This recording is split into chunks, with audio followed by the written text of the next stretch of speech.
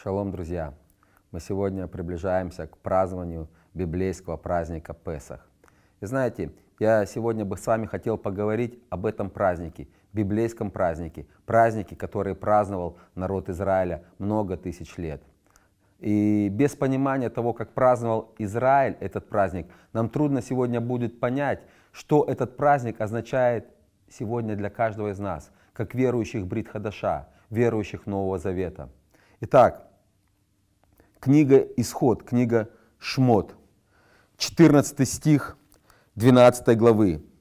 «И да будет вам день сей памятен, и празднуйте вонный праздник Господу во все роды ваши, как установление вечное, празднуйте его. Семь дней ешьте, пресный хлеб самого первого дня, уничтожьте квасное в домах ваших, ибо кто будет есть квасное с первого дня до седьмого дня, душа та будет истреблена из среды Израиля». И в первый день да будет у вас священное собрание, и в седьмой день священное собрание. Никакой работы не должно делать в них. Только что есть каждому, одно то можно делать вам. Наблюдайте о пресноке, ибо в сей самый день я вывел ополчение ваше из земли египетской. И наблюдайте день сей в роды ваши, как установление вечное. Мы видим, что Всевышний дает повеление праздновать о наблюдать о. Это один из библейских праздников, которые сегодня празднует народ Израиля. Вы знаете, что в канун Песаха э, в народе Израиля из дома выносится все квасное. Квасное сегодня является символом греха или закваска, которую сегодня каждый выносит не просто из своего дома, но каждый старается э, вынести из своего сердца. Особенно это касается нас, верующих, тех, кто уверовал в Ишуа, как в своего э, личного Господа, как, как тот, кто принял его как э, агнца, принявший его как Песах. И знаете, э, Писание говорит, наблюдайте о пресноке ну, в синодальном переводе оно звучит как-то не очень комфортно. Но если мы заглянем в оригинал, мы увидим, что Писания говорят, оберегайте о пресноке, оберегайте. А пресноке на иврите это слово мацот, буквально чистый. И если мы почитаем под этим углом, мы увидим, что здесь в 17 стихе дается повеление, оберегайте чистоту или храните чистоту. То есть мы понимаем, что после того, как Агнец был заклан за нас, и каждый из нас, он должен хранить эту чистоту, наблюдать эту чистоту, потому что ответственность была очень большая. Потому что в 15 стихе сказано, тот, кто, не, кто будет есть квасное, душа того будет истреблена из среды Израиля. Сегодня вы можете сказать, а почему это должно касаться меня? Я живу в Брит Хадаша, я живу в Новом Завете. И какое дело это имеет сегодня к моей вере в Иисуса Христа? Но я хочу посмотреть, что об этом говорит, об этой чистоте Новый Завет, Брит Хадаша. Послание апостола Павла, апостола язычников, Рафа Шауля, э, Коринфянской церкви. Церкви, в основном состоящей из язычников, церкви или общины верующих, которая присоединилась к призванию Израиля. Знаете, те верующие, которые присоединялись к Богу Авраама, Ицхака, Якова, присоединялись к верующим из народа Израиля, вопрос у них не стоял, праздновать ли библейские праздники, которые сегодня, к сожалению, очень многими верующими называются еврейскими. Это были библейские праздники. И Павел, он дает понимание в послании к Коринфянам, что же это за праздники. Вы помните историю эту, которая описана в послании к Коринфянам, когда один из э, верующих, он имел внебрачные отношения с тещей, э, со своей тещей.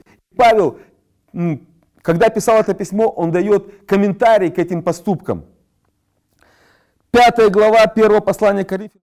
Разве вы не знаете, что малая закваска квасит все тесто? Итак, очистите старую закваску, чтобы вам быть новым тестом, так как вы бесквасны. Ибо Пасха наша, Машех, заклан за нас. Посему станем праздновать не со старой закваской, не со кваскою порока и лукавства, но со пресноками чистоты и истины.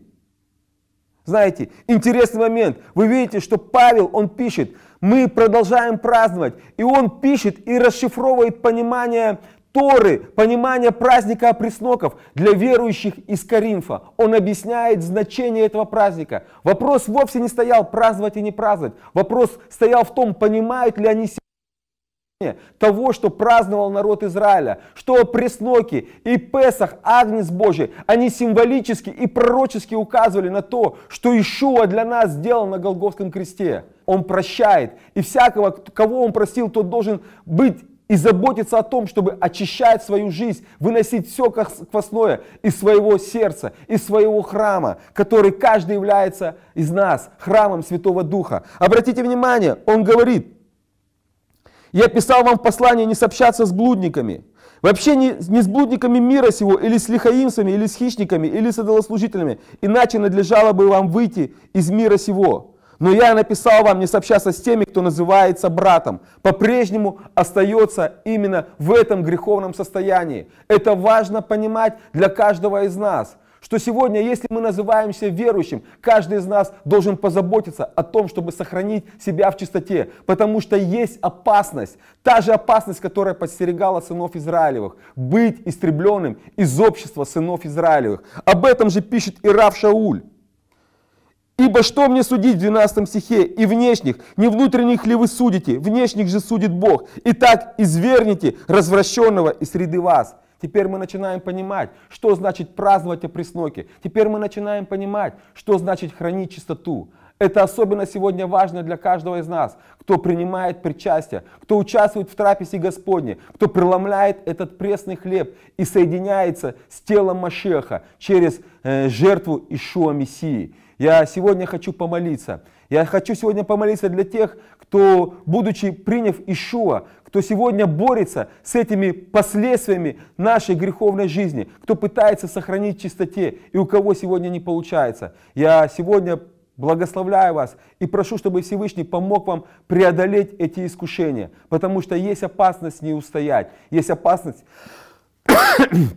быть истребленным из сыны общества народа Израиля, из среды общества верующих в Иешуа Мессию. Дорогой Отец Небесный, во имя Иешуа, я прошу Тебя, благослови сегодня.